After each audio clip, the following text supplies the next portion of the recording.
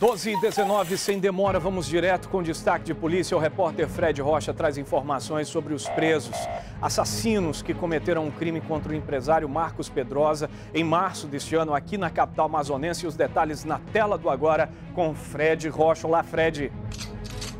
Olá, Amaral.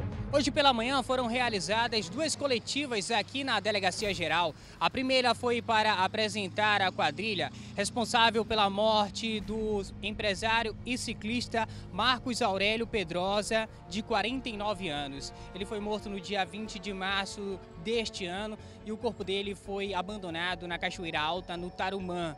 A polícia apresentou Robson Oliveira de Araújo, de 22 anos, conhecido como Marquinho, Alessandro Firmino Cabral, o Cabeleira, de 21 anos, e Robenilson da Silva Miranda, o Nilson, de 23 anos. Além destes três, um quarto é, suspeito está foragido, Michel Bruno Campos. Eles foram presos no bairro da Redenção, na zona centro-oeste aqui da capital. Nós conversamos com o delegado Ivo Martins, da Delegacia Especializada em Homicídios e Sequestros, que contou mais detalhes. Como foi que vocês conseguiram chegar até esses três suspeitos aí de ter participado do, da morte do empresário? Primeiramente, através de uma denúncia de um cidadão que fez uma denúncia no CIOPS, tá, via 190, dizendo que viu um, um rapaz na altura do Parque dos Bilhares, é, numa Saveiro Branca, sendo colocado dentro de um carro por três pessoas tá certo? Na verdade, a gente, descobriu, a gente descobriu que era quatro. A partir daí, desencadeamos as investigações e conseguimos obter uma informação de que uma Saveiro Branca havia furado uma barreira policial no Santos Dumont. Fomos atrás e, uma, e um circuito de câmeras de uma residência mostra é, quatro pessoas abandonando. As imagens, inclusive, estão sendo disponibilizadas para vocês. Mostra quatro pessoas abandonando a Saveiro Branca por volta de 21h50. Significa dizer, então, é, que eles largaram o carro a essa hora, depois de ter roubado o rapaz às 8h50, 9h50, uma hora depois, largaram o veículo e mataram o rapaz nesse entre meio. Os três suspeitos serão encaminhados ainda hoje para a cadeia pública Raimundo Vidal Pessoa. Ainda hoje pela manhã, a polícia falou sobre a prisão de uma quadrilha responsável por assaltar o caixa eletrônico do Banco do Brasil da Funasa no início deste ano. A prisão foi no último sábado, ainda pela madrugada, no município de Manicoré.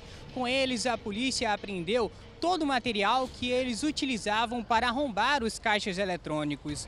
Tinha furadeiras, brocas de diamante, cada uma avaliada em mil reais. No município, eles planejavam arrombar outros caixas eletrônicos. Eles tinham até um jatinho à disposição. Nós conversamos com o delegado Adriano Félix, da Delegacia de Roubos, Furtos e Defraudações, que falou sobre o caso. A equipe da DRF, a equipe de inteligência, começou uma investigação em cima da quadrilha e percebemos a, a vinda de outros integrantes de outros estados de Santa Catarina, pessoas profissionais, né, pessoas especializadas nesse roubo, nesse corte a caixas eletrônicos, onde eles se juntaram aqui em Manaus para praticarem o roubo em Manicoré. No sábado, na cidade de Manicoré, a equipe que já estava investigando essa quadrilha há alguns meses resolveu abordá-los ainda no, no hotel da cidade. Tendo em vista nós resolvemos, tendo em vista que poderia ter confronto, poderia ter troca de tiros e as pessoas inocentes acabando sendo atingidas. Mas o fato é que os suspeitos não foram apresentados aqui na Delegacia Geral. Isso porque, antes da apresentação, a Justiça expediu um mandado de soltura. O delegado Adriano Félix também falou sobre isso. O, o juiz alegou incompetência por parte da, do município, né? E, e informou que o flagrante deveria ser realizado lá em, lá em Maricoré e não aqui em Manaus. Pela delegacia de lá? Pela delegacia de lá. Fred Rocha para o Agora. Muito bem, obrigado, Fred. Outros detalhes sobre este caso você vai acompanhar logo mais no Jornal em Tempo. São 12 horas e 23 minutos. Vamos falar sobre enchente. O governo do estado assinou convênio com municípios da Calha do Rio Juruá para mandar imediatamente recursos de ajuda nesse período de cheia que está complicado, principalmente na Calha do Juruá. A repórter Maritana Santos traz os detalhes para a gente na tela do Agora. Olá, Maritana!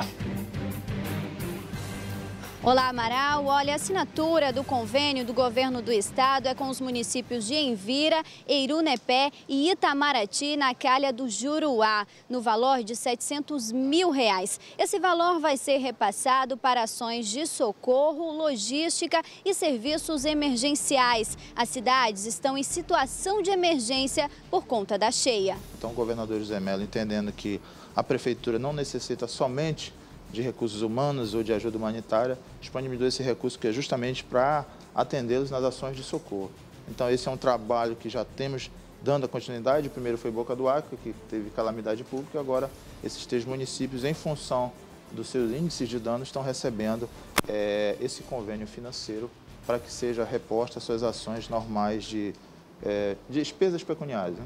Hoje tem um município em estado de calamidade pública, 12 em situação de emergência e 5 em alerta. Já são mais de 78 mil pessoas afetadas. Eu volto com você no estúdio, Amaral. Obrigado, Maritana Santos, pelas últimas informações de hoje do programa da comunidade. 12h25. Amaral, deixa eu mandar um beijo rapidinho. A Agatha tá mandando um beijo para Maria das Graças de Petrópolis. Um beijo, uma boa tarde para todo mundo e até amanhã.